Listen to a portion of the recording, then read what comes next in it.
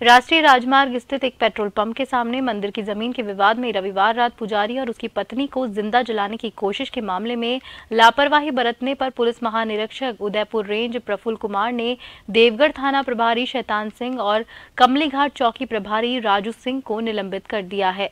अतिरिक्त पुलिस अधीक्षक शिवलाल बैरवा ने बताया कि वारदात के मुख्य षड्यंत्रकर्ता नरेंद्र सिंह, विजयपुर सरपंच पति हरदेव भाट और एक अन्य आरोपी भवर सिंह उर्फ़ दिनेश को गिरफ़्तार किया गया है।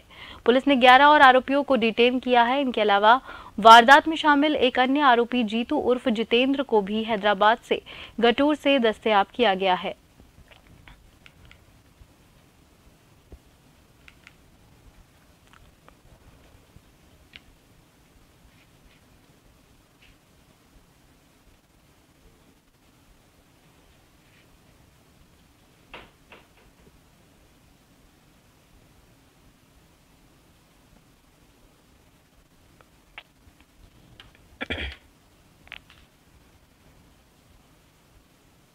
देवगढ़ थाना प्रभारी और कमलीघाट चौकी प्रभारी को निलंबित किया गया ज़मीन विवाद में।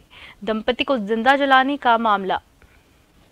दंपति को ज़िंदा जलाने की कोशिश में लापरवाही बरतने पर पुलिस महानिरीक्षक उदयपुर रेंज प्रफुल्ल कुमार ने। देवगढ़ थाना प्रभारी शैतान सिंह और कमलीघाट चौकी प्रभारी राजू सिंह को निलंबित किया।